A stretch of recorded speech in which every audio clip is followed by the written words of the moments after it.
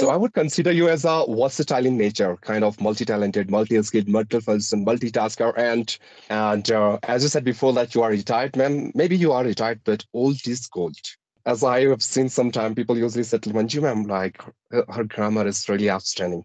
English is just like a bridge, which is quite helpful in order to connect two different people in our initial stage. We shouldn't bother about our grammar, and we shouldn't offshoot with grammar. You know why?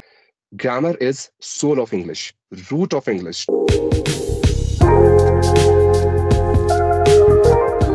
So everything is fine, like my voice, video, and everything.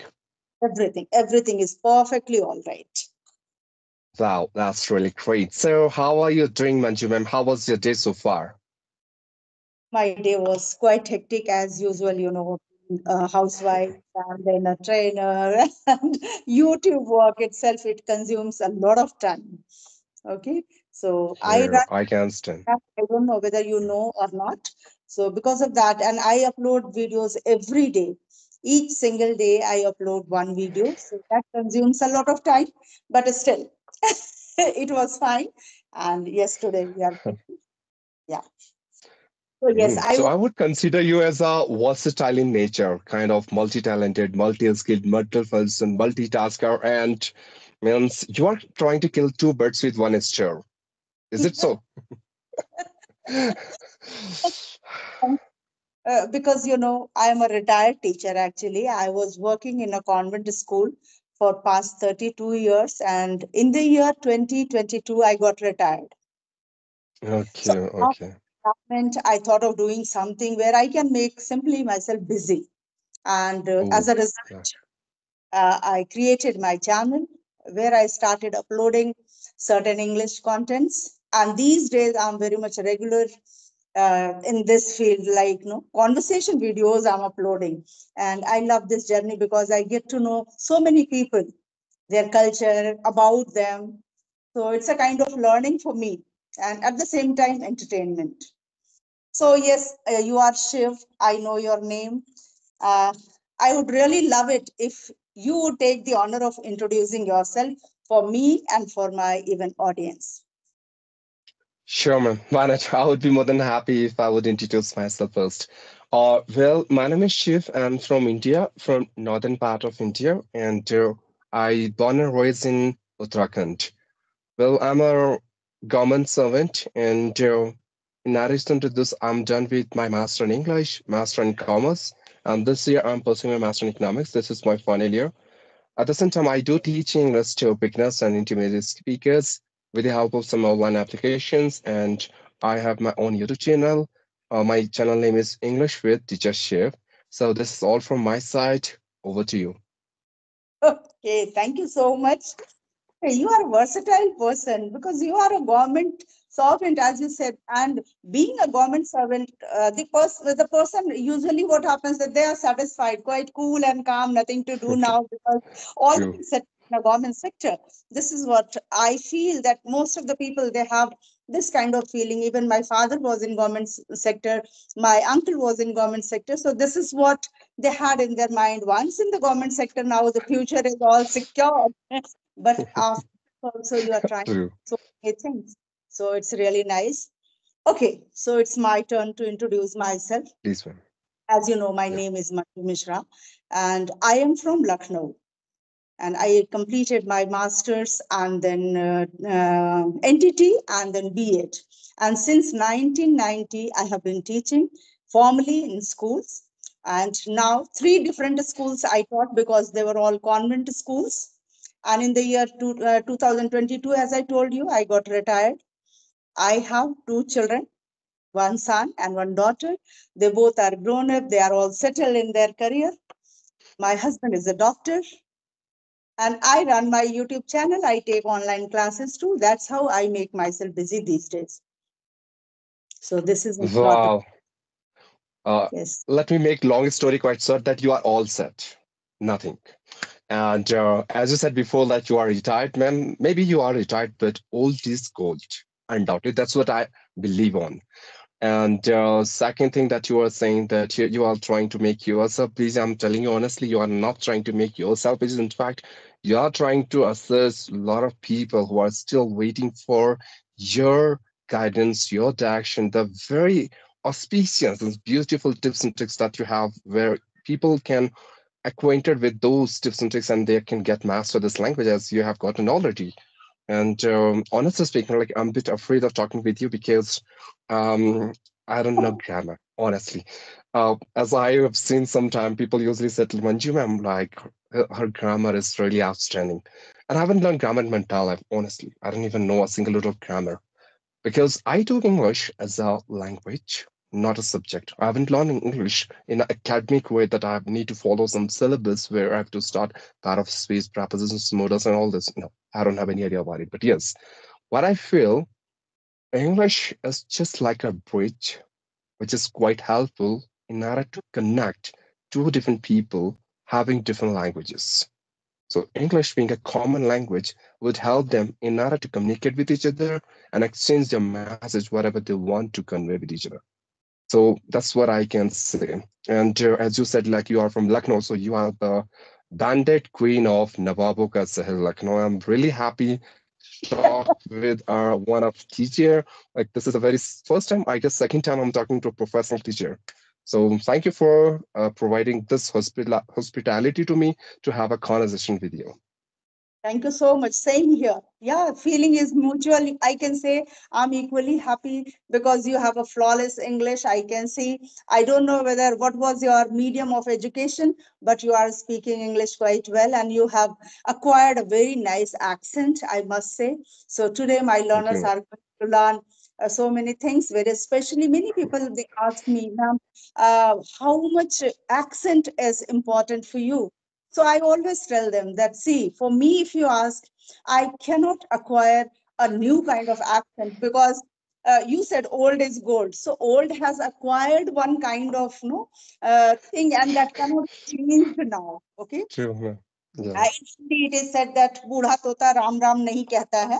So the same thing. now I have become old. yeah, good one yeah so that is how i do but yes of course uh, it attracts people.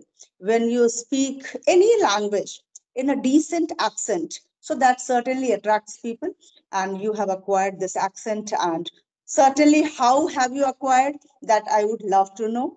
Uh, you can share this whether you worked for it or you had from the beginning itself uh, well, that's a very nice question. I must appreciate that you have asked this question to me, and I would love to answer it. Uh, the very first thing that I want to share is the difference between accent and pronunciation. What is pronunciation? Pronunciation is nothing. When you pronounce one single word with the help of syllable, that is called pronunciation. And what is accent? Accent is something which tell you about your origin, your culture, your tradition, from where, which nation you belongs to. So accent is just like a style, the way you speak, whole sentence, the way you pronounce whole sentence. Pronunciation, only one word, and accent when you pronounce whole sentence. So that's the difference. Now, pronunciation is universal, worldwide accepted. If you know how to pronounce word correctly, uh, it should be pronounced. You can make yourself comprehensible to anyone no matter from which part he or she belongs to. On the other oh. hand, accent has some limitations. For example, if I would speak in an American accent, so those who are from United States or those who are learned this accent, they are the only one who can understand me. Rest of the people, they can't even understand me. And then only I lost the beauty of this language, right? Third thing, what I believe and what I do suggest to my students that neutralize your accent and improvise your pronunciation. What does that mean? For example, I hope you have talked with some people who are from southern part of India, and they have MTI, mother tongue influence in the spoken English. Once when they speak English, uh, they uh, like I can see some mother tongue influence in their spoken English. So if you will talk to them, and mm-hmm. uh, uh, sorry, I'm getting a call from someone. Uh, am I visible to you and audible? You are visible and audible. If you want to receive that call, you can. No, no, I don't want to receive, but I can't see anything. and will let it be. Uh, okay, let me continue. So what I'm saying that uh, neutralization of accent simply means like your mother tongue friend should not be there. Um, mostly, like I don't want to uh, discourage them, but they speak English in a different tone, and it sounds a bit awkward. So when you speak English, I would suggest you just try to have a neutral accent. Like no one can easily identify you from where and which part of country you belongs to. Like that kind of neutralization I'm talking about. Secondly, when I said improvise your pronunciation, simply means like you have to understand that value of uh, pronunciation. When you're pronouncing correctly, you can make yourself understandable to anyone. All right. And accent and pronunciation works together. Like they both are uh, interrelated to each other. That's what I believe. Okay, that's fine. That's fine. All right. Um, I think you have asked like how did I acquire this accent? So honestly speaking, I don't even know the answer of this question because since I started learning this language, I've been talking to many native speakers from around the world, like from United States, Canada, United Kingdom, Australia, and I got an influence of their accent on my way of speaking. But uh, I hope the way I'm speaking right now, you guys can understand me easily. So that's more than enough for me. Yes, yes, that's fantastic. But yeah, uh, the way you are speaking, everybody would love to speak in the same way. So you are doing a great job. And as you said that in spite of being a government employee, you are teaching to some students. Uh, are you teaching just spoken English or you are teaching English as a language? Um, I'm teaching English just a language because uh, I want people to speak English in such a way as they can speak in their own native language. That's it. I never try to teach grammar to anyone. Uh, I don't want to disrespect you, but what I believe in our initial stage, we shouldn't bother about our grammar and we shouldn't offshoot with grammar. You know why? For example, if I'm a beginner and I'll think about grammar while speaking English, what will happen? Let me show you. Am I speaking right? Am I speaking wrong? Uh, shall I use have, has? Actually, I'm creating a type of uh, grammar in my mind. And uh, you are going to divide your mind into two different parts. One part of mind is thinking about your accuracy, whether you are using right grammar or not. And second part is focusing the content which you are going to speak about. So you can't even cross a river by sailing two different boats. You have to choose one boat at some to some extent you can uh, sail, but after that you have to choose only one boat. So uh, I would say in initial stage, just focus on your flow and confidence. Only two things. Once you reach on that level where you can speak English without any shyness and hesitation with anyone, then after you must work on your grammar because grammar is soul of English, root of English. I would say uh, what we can say spinal bone of English without grammar, you can't even speak a single word. For example, if I would say, uh, ma'am, is name my Shiv? Does it make any sense? It's not. Everything is fine. Like my is there, is is there, name is there, and Shiv is there. What's wrong? But if I'll speak in this way, no, is my name Shiv?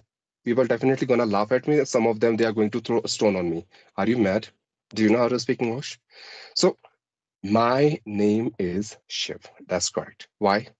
there is subject, verb, and object rule. We need to follow it.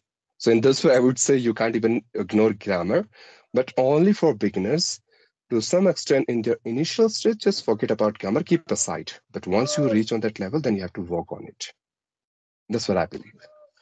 That's true. This question has been asked to me 100 times, more than 100 times, ma'am, is grammar really required? Because I've been a grammar teacher and my channel's name is Grammar with Manju ma'am. So this question has been asked and every time I used to just tell them, yes, grammar is important because we are not native speakers. So we have learned like this that subject should come first and then verb should come and then comes object. And then we know subject verb agreement and then we arrange everything systematically. And that is how we do. But yes, if you are having atmosphere environment like today people have so they can learn. But in our days, we never had, we had only one radio, no TV, no mobile, no network, nothing. So we learned English through grammar. because we knew agar mujhe bolna hai main khata hu then what should come with i which verb will be followed. If it is present tense then what should be used. If it is past tense that is how we learned okay? So i always uh, tell that yes grammar is important but yes if we are connecting to certain people those who are really speaking correct english right english then we need not to learn grammar separately as a subject so you are right today people have so many things see from the group where I found you. There, I think more than 500 people are there. Isn't it? True. It is. So people are every time I see when I take sessions, that time I see that so many pop-ups are coming. Everybody is ready. Are you free? Can somebody have a conversation on video call, audio call? People are getting so many chances, opportunity, and they're talking. So certainly, first priority is always open your mouth start speaking so that you overcome your fear and hesitation that is very important so yes what challenges are you facing when you teach children students then what do you face? What is the major problem you are facing whether they are only hesitant or they do not know sentence structure or they are unaware of any grammar portion? Because some grammar is required even if you want to say i go. Why not i goes okay even two words you have to uh, uh, uh, combine. Then also you should know that why he goes why i go. You should know it yeah? But yeah listening helps a lot. And these days people are listening a lot and that is helping them. So what kind of challenge do you find in your students? Yeah uh, i love to answer this question but ma'am uh, can i have uh, only one two seconds? Only for two seconds Sure, sure. I'm just muting myself only for two seconds. Yeah. Please, please. Sorry, sorry. Sorry for my interruption. This happens. This happens. Actually, you also, no. Uh, you asked me that time after lunch, I take a little rest. You can say a short nap. I take but yeah i had given the time and i really wanted to connect with you because uh, i saw your messages many times in the group. So i felt like let's just connect because most of the people they have connected with me. So i found you new in that group. Okay. So i felt like messaging you. So yeah please over to you uh, thanks, ma'am, for asking that question. Like, what challenges are I'm facing when someone like connecting with me or my students are question asking questions to me? Uh, most of the time, they are facing four problems. And what are these four problems? The very first thing, they feel so underconfident while speaking English. They hesitate and they will shy a lot when it comes to talking with people in English. Second, of course, grammar is one of them. Like they feel, mm, sir, when I'm speaking English, I don't know what kind of sentence structure I have to follow. I don't know grammar, and uh, I make a lot of mistakes related to grammar only. So I don't feel myself to speak English in front of anyone. Third thing, people usually face problem in terms of pronunciation. And so they mispronounce the words and uh, they don't know how to pronounce the word correctly and especially when it comes to a new word in front of them, the word which they are not acquainted with before. And the last problem they have been facing is they always ask me this question like, sir, would you mind if you tell me like, how did you learn this language? What are the tips and tricks and secrets do you have in your pocket, which you can serve to us? And we can also follow those tips and tricks and we can sound more perfect and fluent. So these are uh, some basic questions I've been following or uh, facing with these students who have been asking questions to me. So yeah, that's all. These are the problems you have been facing. Okay, so are you uh, teaching them at your home or you have just hired somewhere some coaching center and there you are going and teaching them how is, is it going on or is it totally online it is totally online to be very honest with you ma'am i don't speak english in my real life because i don't have anyone with whom i can speak in english in my real life no one is interested, but my office colleagues are not interested. They speak pure Hindi because uh, government department, they work in that language Hindi only. There's no English at all. And uh, I have been using different application. I guess around seven eight application I've been using in order to assist different uh, students from different part of India. And sometimes like I do talk with people who are from different countries as well, like Bangladesh, Indonesia, Philippines, Burma, and there are so many others. So I'm just connecting with them with the help of online application. And uh, just because of one application, uh, there were some students, they requested me, sir, just because you are a government employee and sometimes whenever you create your own panel in order to teach us, we are not able to join your classes. So all we, you all you need to do that, uh, just try to open your own YouTube channel where you can provide all this stuff and uh, we can learn from there as well. So then I thought, okay, fine, let me do it. Uh, honestly speaking, I was so afraid about it because I haven't faced camera in my entire life. Once I've been talking to people, or it's been more than three and a half years, I've been talking to many students around the world, but uh, that's on a virtual platform and on an audio call. But so this is the first platform, Skype, here, where I'm talking with people in uh, on a like a video call, and uh, in initial stage, like when I was new to this application, it's been only three or four days I've been using this app. Uh, in my first call, I was like shivering. Uh, you can't even imagine. I disconnected my call three times. And then I came to know the level of pressure of students they have been facing when it comes to underconfident. Like why they keep saying that, sir, I'm not confident, I'm feeling hesitation, I'm, I'm a bit afraid. But that day only I came to know, okay, fine, that's the issue. But I've been telling people if you have any phobia in your life and you want to overcome with that phobia, there's no other options except you have to face that phobia. And I have decided, okay, anyhow, I don't know what will I do, but I would conquer this phobia of being on a video call with someone. So here I am in front of you. Yes, of course. The same had happened with me. Once I started my channel, I had to make small rules. I started making with small rules of 30 seconds shots or something like that. When my son used to take mobile to take my uh, to make a video that time i was shivering like anything as if i'm teaching for the very first time whereas i had already taught for 32 years in my past so this happens when we are camera conscious yeah, so you are right. Agreed. But okay. uh, I think you are far better than me in terms of every aspects. You know why? Because uh, the way you are using uh, connected English, the way you are using your grammar, articulation, and your voice modulation, intonation, everything is really up to the mark. Though you don't have any accent, you have your own pure divine and auspicious Indian accent. I love it. But still, the way you're framing sentence, you are not even thinking a single second what I have to speak or what kind of terminology I have to use.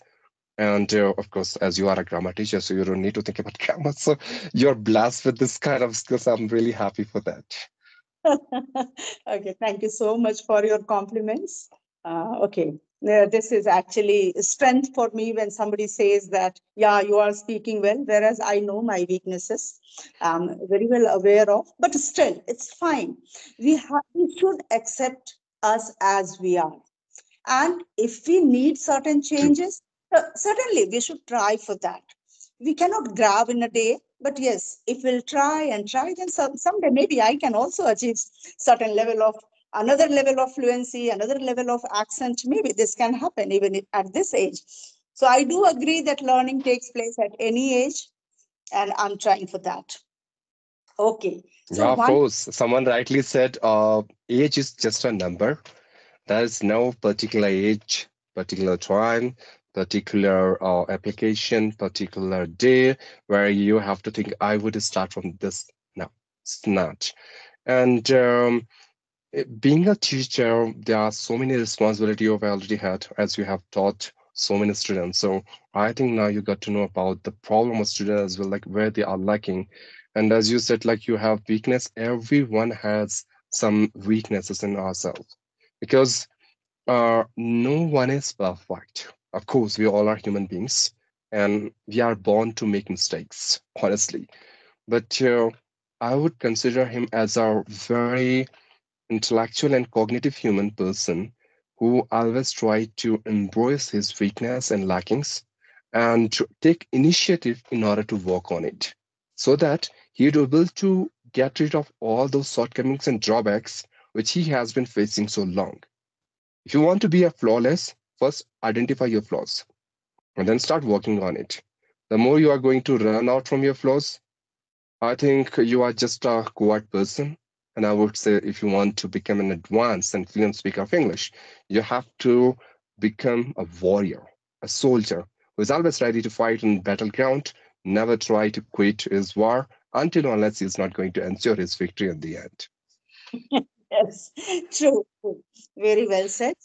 And now my another question, I know that we are running sort of time, but still one more question. If I ask you that everything you described about yourself, you are an uh, employee in government sector, you are teaching some learners and you have your YouTube channel. I just want to know that what motivated you to create your YouTube channel? What was the reason? Uh, basically, there are three reasons behind it. First reason I have already shared. I was in uh, one application. Their students have recommended me to open my own YouTube channel for them. For the visibility of their convenience, I started my own YouTube channel so that the stuff which I'm providing there, and just because of any reason, if they are not able to join my session, at least they can acquire the same stuff from my YouTube videos. That's the first oh. thing. Second thing, um, I haven't shared with you, but um, I talked to one native speaker teacher from United States, and I asked her, "Ma'am, though I'm speaking well, but I want to improve more, and how can I do it?" Then she suggested me that start teaching others. If you're going to teach others, somehow to some extent, you are going to teach yourself first for example, in your case as well, I hope you have remember your days when you used uh, to, you used to teach your students. First, you just take a look towards that lesson which you have to teach the next day in your class, and then you are going to teach. Though you are proficient, but still. Last day I had been doing the same. Yeah, before entering the class, every year the syllabus changes, the board introduces something new. Okay, so we True. use yeah. every day because once you enter in the class, you cannot be blank in front of your students you have to have ma mastery over your topic which you are going to take up in the classroom today. So we used yeah. to do it. Yeah, yes, yes. So that is true that when once you teach, for teaching sake, you prepare that thing very well because you know that you are going to face your own students. You have your own image in front of your children. So yes, that is another reason for you to create your channel. Yes. Exactly. And uh, the third reason uh, was to motivate me to start my own YouTube channel is actually I want to speak English as I can speak in my own native language, naturally, smoothly, comfortably, without mm -hmm. making a mistake, without thinking about what shall I use, without any grammar rules, without stammering, without fumbling, in a simple and sober way that the way I speak with people, I can connect with people in my native language. I want to connect with people in the same way. And if you want to reach on that level, of course, no doubt, you have to be very, very hardworking person. You have to do a lot of hard work in order to reach on that level. Because the more you become perseverant, the better you can learn this language, undoubtedly. And last but not least, I was criticized by someone in my initial days just because of this language. And I don't want anyone to be criticized by someone else for the same thing. That's why I always try to help people. I always try to guide some of my students and those are inquisitive and eager eh, aspirants who are literally looking for their advancement in this language and want to sound like a pro speaker. Good, very well explained, Shiv. I'm really happy to invite you on my channel and you shared lot many tips and tricks which is certainly going to help my learners and viewers. Uh, so thank you so much. I know, I think yeah. it's time for us to uh, wind up the session. I do have a lot of things on my plate which I want to serve you, but today I'm just running out with my time. So that's why I'm not able to do it. But for sure, definitely, I'm looking forward to talk with you again. And in my next conversation, I'm definitely sure I'm going to make a bombardment of my question to you. And I want you to diffuse all those bombs in such a way as you have been doing since long the day you started teaching your students so much. I'm ever ready. I always love to answer everyone's question. So I would be waiting for that session when you are going to ask me questions. Today, I asked you a few questions which I felt like asking you. Okay, so we'll certainly join once again and we'll connect soon. Okay. All right. Thank you, ma'am. Thank you yeah, so it was really nice talking to you. Keep talking and keep enlightening us with your vast knowledge and experience. much. Have a nice day. Bye bye, ma'am. Okay. Bye.